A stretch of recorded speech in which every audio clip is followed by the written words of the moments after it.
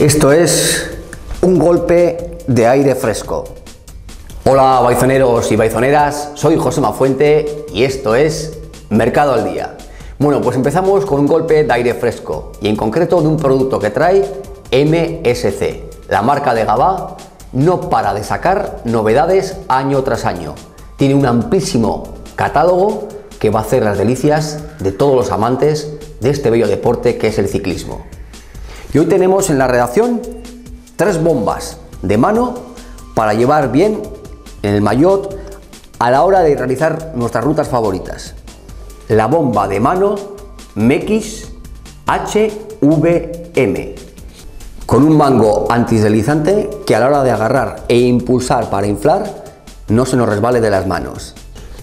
Si hay algo que nos ha gustado de esta bomba es precisamente esto. La gran ventaja de este sistema es que frente a las bombas rígidas, que simplemente colocamos sobre la válvula y las bloqueamos, es muy posible que a la hora de empujar y hacer fuerza, pues doblemos la válvula. De esta manera vamos a provocar que esto no ocurra. Simplemente colocamos sobre la válvula y lo demás es inflar. Muy importante también, está preparada para válvula fina o para válvula gruesa, es decir, presta o Schrader. Simplemente con algo tan sencillo como esto.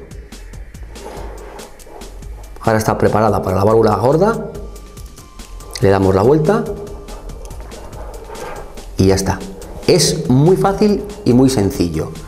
Luego lo colocamos y lleva el cuerpo para protegerlo.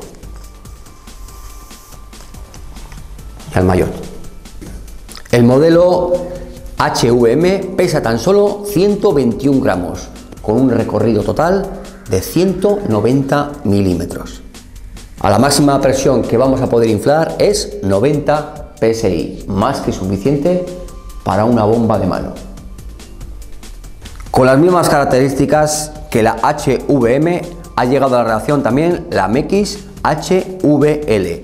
Diferencia 134 gramos, y 225 milímetros de largura. También aluminio CNC, al igual que la HVM 90 PSI. Todas las bombas de mano de MSC vienen con el adaptador para poner al cuadro y poder transportarlas cómodamente aquellos que no queráis llevarla en el maillot. Y la tercera bomba de mano que ha llegado aquí a la redacción es la MX HPL.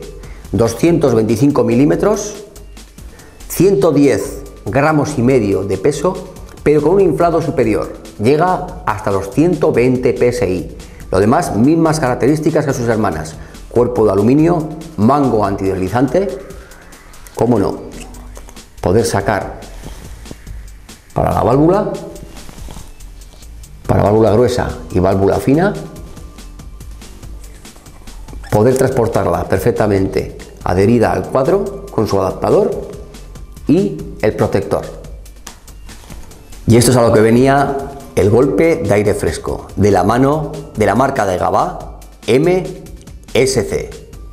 Para haber usado estas preciosas bombas de mano, lo normal es que hayamos pinchado y muchas veces no llevamos cámaras de repuesto y nos queda lo de la vieja usanza. Y desde MSC nos proponen esta preciosa caja para transportar todo lo necesario para arreglar el pinchazo.